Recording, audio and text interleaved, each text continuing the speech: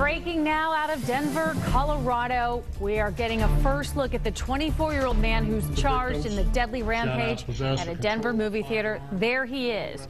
James Holmes being arraigned after authorities say he shot 70 people, 12 of them dead. You can see his hair is a reddish orange. He looks, well, out of touch in some ways. But we wish you a good afternoon. This is Holmes' first court appearance. He has been held in solitary confinement since Friday, and authorities say he is refusing to cooperate with them. ABC's Rebecca Stevens has details on the grave punishment he will face.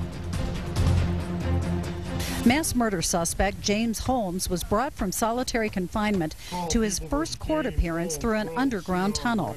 In the brief hearing, the judge told Holmes why he is being held. You also have a right to have a jury trial.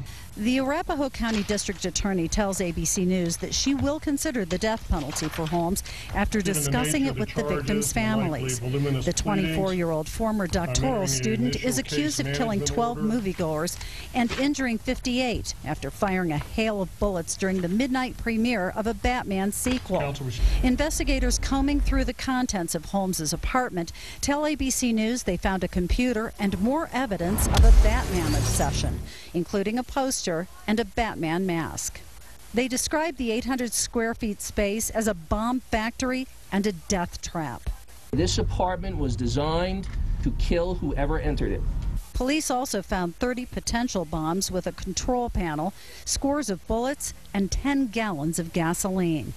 After dropping out of his doctoral program last month, he applied online to join a Colorado gun range. But the owner became concerned after listening to Holmes's phone message, which he described as bizarre, freakish. Hello, I'm James. A stark contrast to this image obtained by ABC News of a smiling and relaxed Holmes at 18 years old giving a speech at a science camp.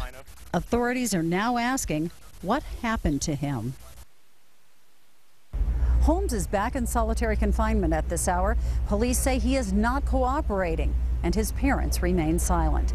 In Centennial, Colorado, Rebecca Stevens for ABC News.